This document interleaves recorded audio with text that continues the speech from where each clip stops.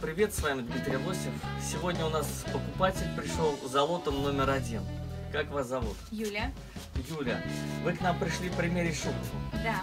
Лот номер один. Ой, супер, и цена супер. Понравилось? Да, все Удоб- здорово. удобно Все сел? хорошо. Мех понравился? Каче- Понравился. качество меха. Все понравилось. Плечики красивые. Как будете носить? Наверное, с шапочкой? С шапочкой, с длинными перчатками, с шарфиком.